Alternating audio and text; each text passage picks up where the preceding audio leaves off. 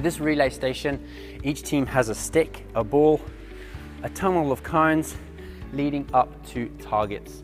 So what you have to do is dribble your ball through to the end of the tunnel, stop it at the end, and you're gonna hit the ball to try and knock down a target. If you hit a target, you get to bring that back and you get one point for your team. And it's the first team to knock down all their targets. Here we go. Small touches with the ball, stop it at the end of the tunnel, step, hit. I missed, that's fine. I pick the ball up and run straight back. And then if I hit a target, I get to pick it up and bring that back as well.